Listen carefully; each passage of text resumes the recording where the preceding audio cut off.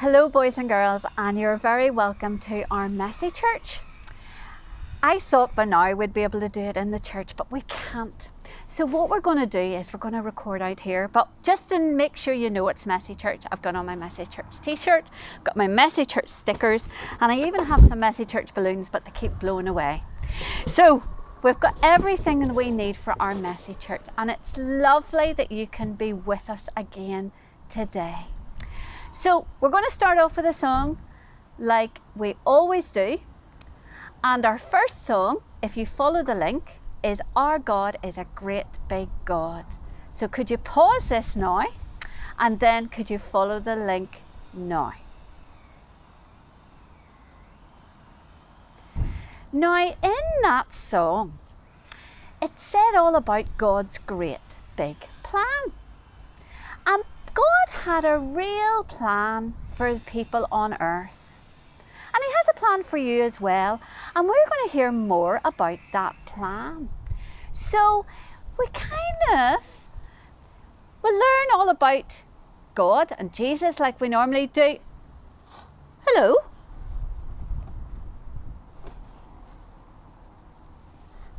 Who are you?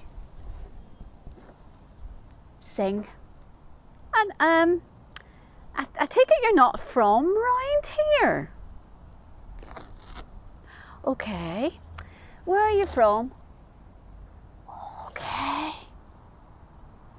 He's from a different planet. And what do you want to know? Why have you come here? Oh, to find out all about Earth. Well, you're very welcome. This is our messy church. Oh, you know about churches? Churches, let me see, what do you know? Uh huh, uh huh. Churches are all about people coming together. But you don't know why they come together. Oh, yeah. Well, there actually aren't any people here because we can't do our messy church with all the boys and girls here? Well, yeah, it is still church, but the boys and girls are all at home and they're going to be watching this. See out that camera? That's where all the boys and girls are. Do you want to shake your head and say hello? Okay. So, this is our messy church, and we learn all about God and Jesus. Right, you know who God is, but you don't know who Jesus is. Well, I'm going to tell you a wee bit more about Jesus today. And actually, over the next few months, we're going to learn a wee bit more about Jesus. And even as an adult, I'm learning about Jesus all the time. Right, you can't maybe can't come the next time. Well, you see, if you can't come the next time, that's why we're recording. You see, you can't see them, but they can see you. Yeah, I have got Messy Church on my t shirt. Would you like a sticker? And then you could be part of Messy Church. Let's see if one of my stickers will come off. There we are. So you've got a Messy Church sticker. So you can listen and learn all about Jesus. And if you have any questions, just ask me. It's okay. The boys and girls won't mind because I think they might have the same sort of questions. So I'm going to tell you all about Jesus. Well, bit about Jesus. We're going to learn one of the things about Jesus that people know. Yep, we're going to talk about God too because we're talking about God's great big plan. You see, God created the earth and He was very happy. But then people started doing things wrong. Oh, lots of things wrong. Lots of things wrong. You would never do anything wrong, would you? No, you wouldn't do anything wrong. So, but they did lots of things wrong. And he had to have a plan to save all those people, to stop them doing things wrong and to follow him. And his plan was to send Jesus to earth. Jesus was God's son. But you see, when he sent him to earth, Jesus didn't come as a big grown man, he came as a little baby. And yeah, as a wee tiny baby. And he had a mummy and daddy on earth. Yeah, it is a wee bit confusing, isn't it? He had a mummy and daddy on earth, but he was God's son. But he grew up like all the boys and girls that we're talking about. Yeah, all those boys and girls, he grew up like them. And he went to school, and they've only just started back to school. Yes, there's been this sort of virus. So we've all had to. Yeah, that's why people are washing their hands all the time. Yeah, but they're not. Yes, I know sometimes our hands don't look dirty, but the, the germs of the virus we can't see. So they're having to wash their hands, even though we can't see the germs of the virus. And sometimes they use hand sanitizer. I know we've been using a lot of hand sanitizer. So, anyway, back to what I was going to tell you. So, Jesus came to earth and he grew up. But God sent a messenger to tell Jesus that people was coming. Well, he couldn't use mobile phones and tele- television and computers because there weren't any. None at all. So he sent a man, and the man's name was John the Baptist. Now, he was called John. Yeah, can you see him? He was called John. And John, well, he was a bit how do I put this politely? It's a wee bit strange. God had given him a job to do. And he lived in the desert because he wanted to live really simply so he could hear God. So he lived in the desert and he ate. Are you ready for it? Locusts. Locusts are like big crunchy grasshoppers yeah, the, the would wiggle a bit, um, I'm sure, as, as you eat them. But he also ate honey. I reckon that took the taste away of the locusts. But he lived in the desert. But he was telling people all about God's plan and who he was going to send. Yeah, and people listened to him. And what's more, he asked people to turn themselves around and to follow the way God wanted them to behave. Yep, to stop doing the wrong things. So, yeah, you see, it's a bit like you can't always see the wrong things people do, but they know that they weren't following God's will. So, what John did was he asked them to follow God, and then to show that they had followed God, they'd followed God, he baptized them. Well, there's really a river here, but we don't have the river. Okay, so there's a river. Do you know you're very clever, Zing? Yeah, it is a bit like us washing our hands. Because when we said about the coronavirus, we can't see the virus in our hands, can we? But we still have to wash them just to make sure. So, yeah, sometimes you can't see the wrong things that you do. So, it's a bit like getting washed. Yeah, it is. So he baptized people. And people were saying to him, Are you the person that God's sending? Yeah, I don't, yes. Probably they wouldn't have sent somebody who liked to live in the desert and, and, and eat locusts and honey. But he still had that job for John to do. But John needed to tell people that Jesus was coming. So John was baptizing people in a river it's a river called Jordan, and it's still there today, and you can see it if you ever go to Israel. Yeah, and some people have been there. So, he was baptizing people in the river. And one day, along came Jesus.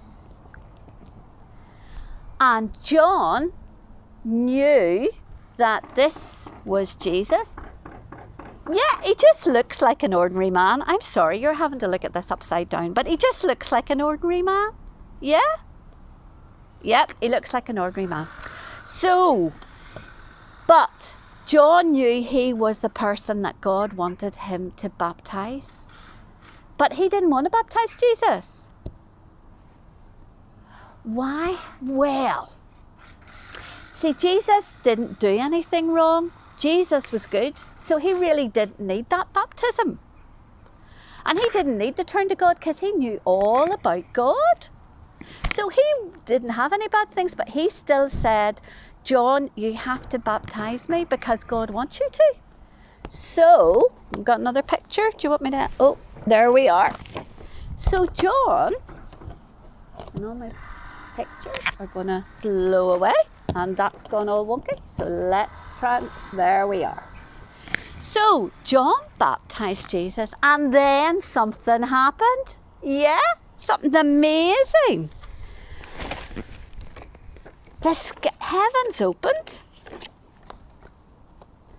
and the light shone through, and a dove came down. And the dove was the Holy Spirit.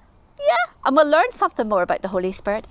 But out of the heavens there came a big voice.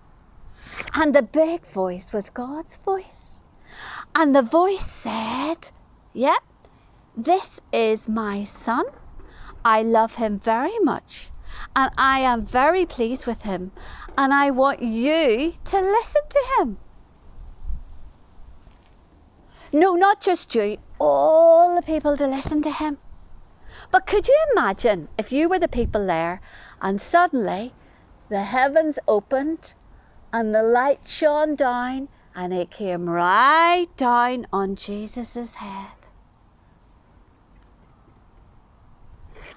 And from then on, everybody knew that Jesus was the one who God had sent to help them because of all the wrong things they'd done.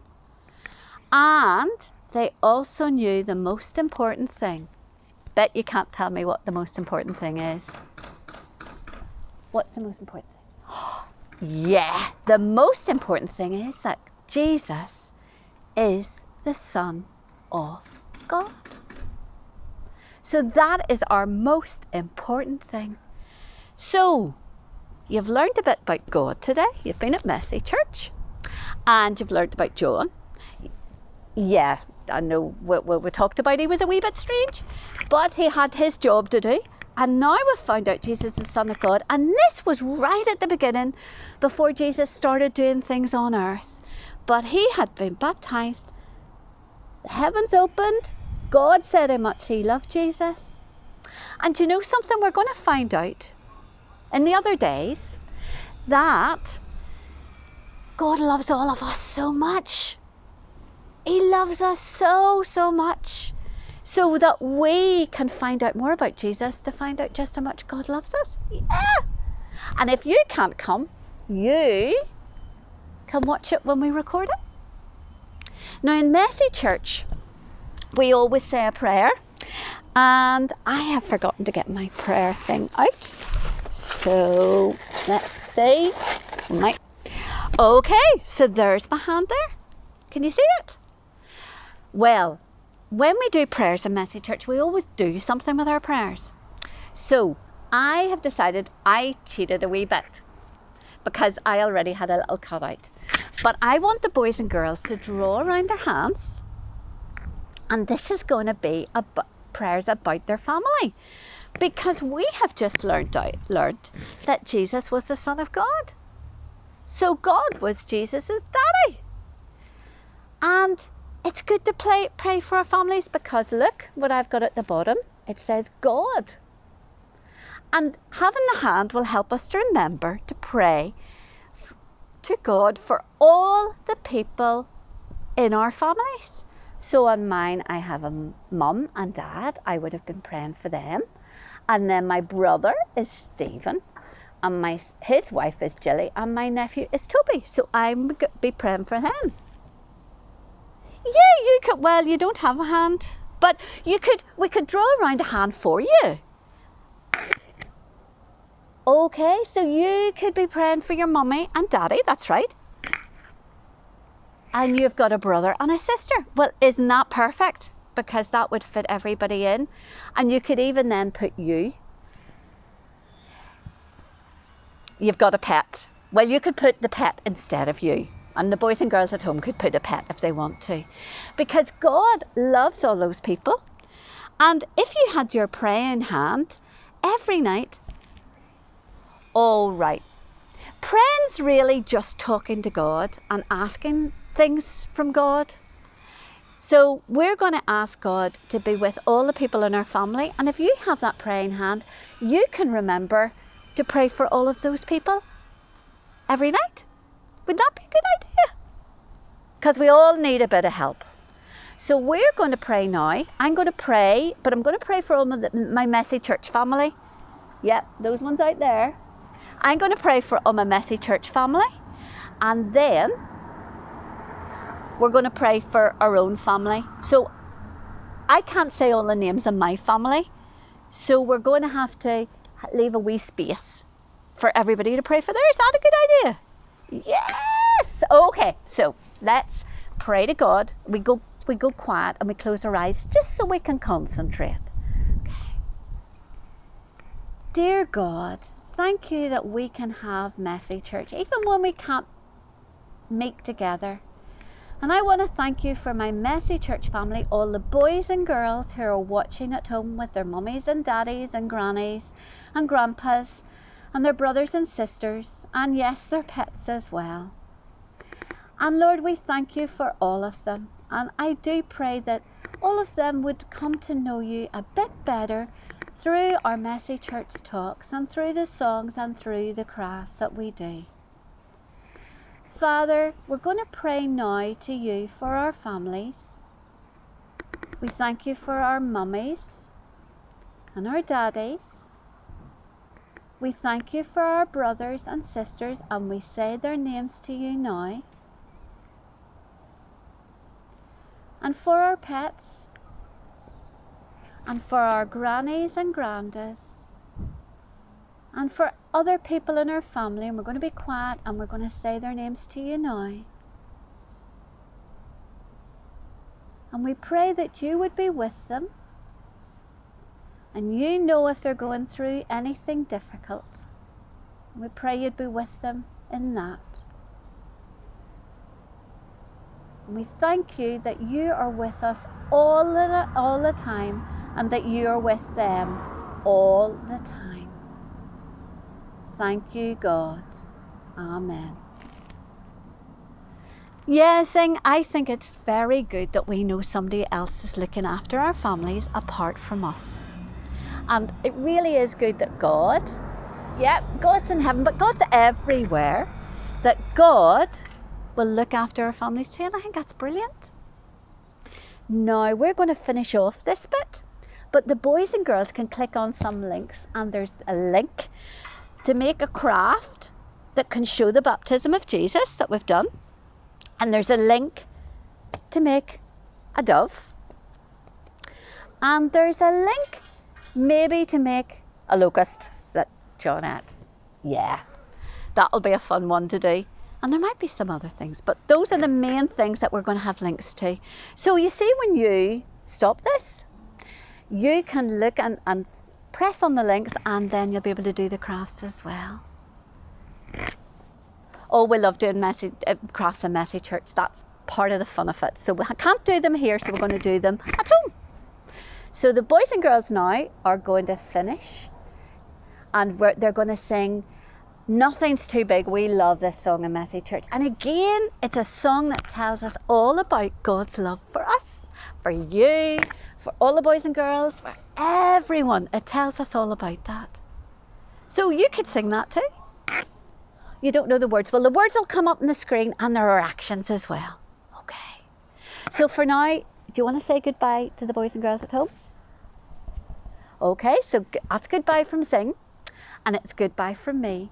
And I hope to see you again next month. Bye.